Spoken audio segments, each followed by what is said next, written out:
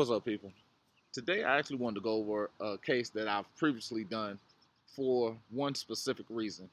It's the simple fact that police are using the call as a byproduct of obtaining some type of probable cause, which is absolute BS.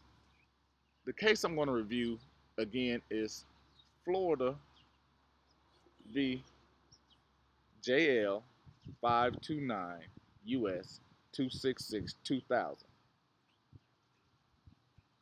Basically, requirement of a tip to be reliable in its assertion of illegality, not merely the, the identification of a person.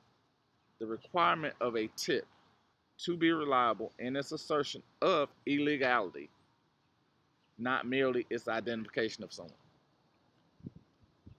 The reason why that is important is the fact that they say, oh, I'm here because of a call. The question that needs to be asked next is, did that call state illegal activity? And again, any follow-up that ends with I don't know from a police officer who is a law enforcement officer knows the fact that it has to be some type of illegal activity being called about in regards to stating anything that may be used as probable cause. I'm going to go further into it later, but I wanted to re-edify that and merely state, understanding the call itself, yes, it's a reason for coming there, but the question needs to be asked. Was there any assertion of illegality or criminal activity or a crime or anything illegal?